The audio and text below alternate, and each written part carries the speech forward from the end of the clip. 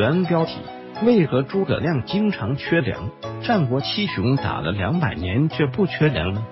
建兴六年（二百二十八年）年冬，诸葛亮为响应东吴而进行第二次北伐。诸葛亮出三关，包围陈仓，攻打二十多天未破。蜀汉大军因为粮草耗尽而退军。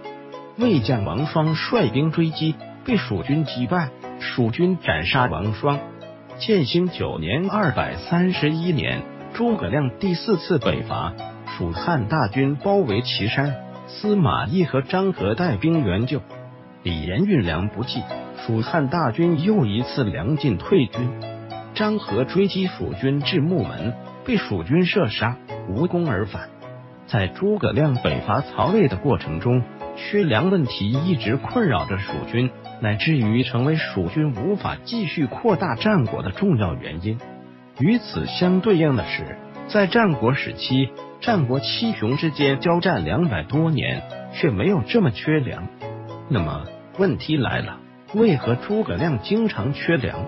战国七雄打了两百年却不缺粮呢？一首先，在战国时期，战争的频繁程度和规模，甚至要在三国时期之上。比如在长平之战中，秦国和赵国前后投入的兵力，几乎达到了百万规模。再比如战国时期，秦国消灭楚国的战役中，王翦率领了六十万秦军，而楚国也出动了数十万兵力来抵挡。对于战国七雄来说，前后交战了两百多年，很少因为粮草问题而撤退的。比如邯郸之战中，秦国数十万大军包围了赵国都城两年之久，也没有出现缺粮的问题。如果不是被楚国和魏国的联军击败，秦国甚至还可以继续包围下去。与此相对应的是，诸葛亮率领数万大军北伐中原的时候，有时候粮草还不够坚持一个月，这是为什么呢？为什么诸葛亮所在的蜀汉就这么缺粮吗？蜀汉不是有成都平原这个粮草吗？展开全文二对此，在笔者看来。这和当时的兵制不同存在一定的关系。在战国时期，为了实行兼并战争的需要，秦国等战国七雄逐渐实行了全民兵役制。只要发生战事的时候，所有适龄男子都在士兵之列。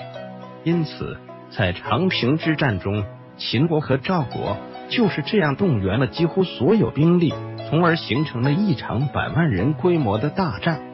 但是在没有战事的时候，这些士兵大部分就要去种田了，以及从事农业生产；还有部分士兵则要承担重要要塞和都城的防御任务。基于此，在没有战事的时候，各国都在积极存储粮草等物资，以便战事的时候使用。与此相对应的是，到了诸葛亮所在的三国时期。战争已经是职业士兵之间的较量了。对于蜀汉来说，人口不到一百万，却有十万兵力，而这十万兵马不仅要承担北伐中原的重任，还需要镇守蜀汉各地。三因此，非常明显的是，在这十万士兵之外，蜀汉能够用于粮食生产的人口，无疑就比较有限了。当然。正是因为三国时期的士兵不从事农业生产，所以曹操率先在汉末三国时期实行了屯田。建安元年（幺九六），曹操采纳早知、韩浩的建议，在许都（今河南许昌附近）进行屯田。于是，周郡列置田官，所在击鼓，征伐四方，无运粮之劳，遂兼并群贼，克平天下。《三国志·魏书·武帝纪》注引魏书，正是屯田这一手段提供了大量的粮草，成为曹操南征北战的重要支持。在曹魏建立后，屯田在不少地区实行，以此解决曹魏大军作战的粮草供给问题。曹魏屯田有民屯和军屯两种，民屯为五十人为一屯，屯至司马，其上至典农都尉。典农校尉、典农中郎将，不立郡县。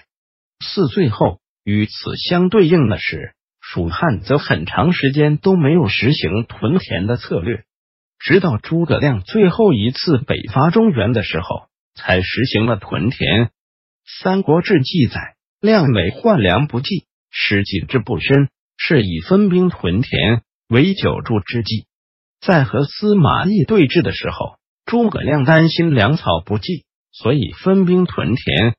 但是不久之后，诸葛亮就病逝五丈原了，诸葛亮北伐也因此结束。所以，如果诸葛亮早一点实行屯田的话，或许可以早点解决缺粮的问题。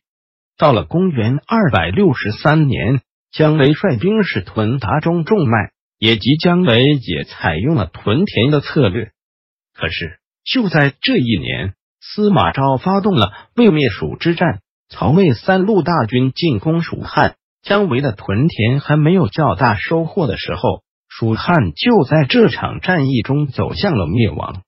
总的来说，战国七雄打了两百年都不缺粮，诸葛亮却总是缺粮的主要原因就是兵制的不同。而在三国时期，想要解决这一问题，最直接的办法就是进行屯田。只是蜀汉屯田的时间较晚，规模也远远不如曹魏，这是其经常缺粮的重要原因。此外，蜀汉北伐时，因为蜀道艰难，运粮的难度较大，成本较高，客观上也是诸葛亮经常缺粮的原因之一。返回搜狐。查看更多责任编辑。